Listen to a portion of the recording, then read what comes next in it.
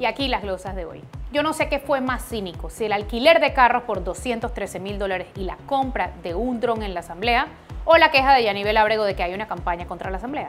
A ver, primero, ningún diputado alquilaría carros a ese precio si fuera con su plata. Land Cruiser y el pueblo del Diablo Rojo. No, hombre, no, no hay derecho. Y ocho carros para tres directivos. ¿Cómo se come eso? Con un carro se compra el arroz, con otro carro se compra el pollo y con otro la soda. Segundo, ese dron no es urgente ni esencial para hacer un trabajo de producción en un canal televisivo, y menos con las necesidades que tiene este país. Es insultante. Aquí es gasto y más gasto.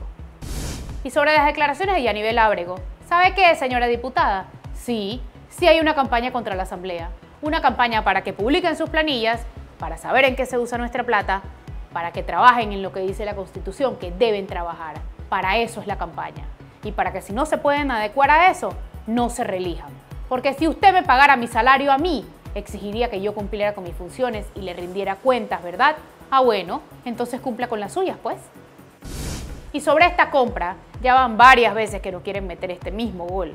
Yo me imagino que el Contralor parará este mismo happy, ¿no? Porque 17 mil dólares por carro, no, 17 mil 762 dólares por carro, ni que fueran Maseratis. Y Contralor, no solo esto, las denuncias, prendió el rancho y entonces el otro que se unió a la defensa de la institucionalidad de la Asamblea, oigan eso, fue el diputado Raúl Pineda, que antes de cuestionar a la ciudadanía debería explicar varias cosas. Su pasado es tan cuestionable que las planillas son chicha de piña. ¿Así o más grave? Pero lo peor de ayer fue la amenaza que tiraron los diputados con no aprobar el presupuesto general del Estado en rechazo al recorte de 71 millones del presupuesto de la Asamblea.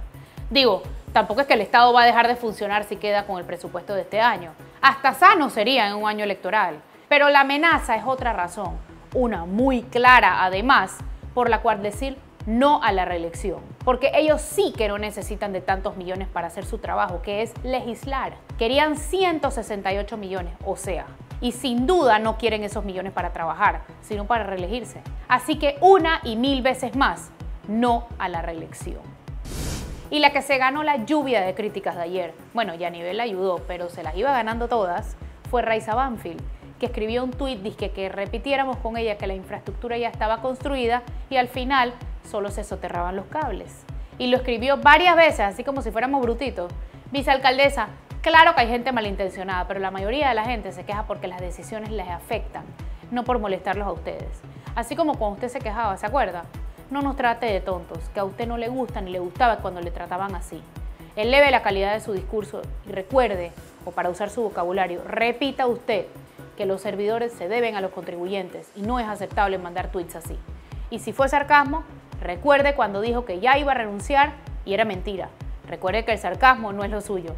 Si no lo era entonces, no lo es ahora.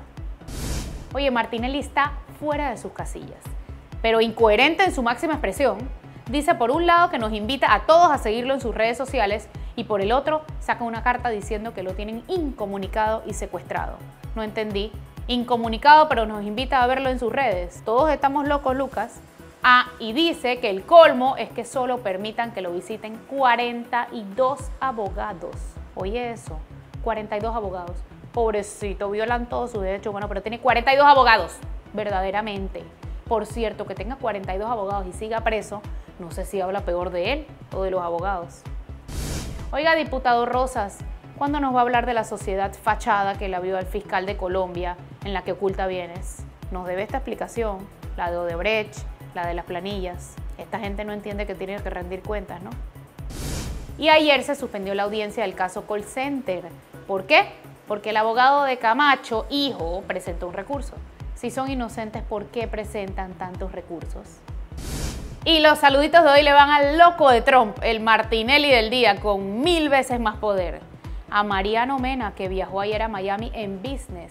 ¡Viva el proletariado! A Lidán, para preguntarles hasta cuándo el relajo de dejar sin agua la ciudad. Saber si ahora no tenemos agua, cómo será en la JMJ. Y si cuando los daños los ocasiona una empresa privada, como antes de ayer en la noche, los multan o nada.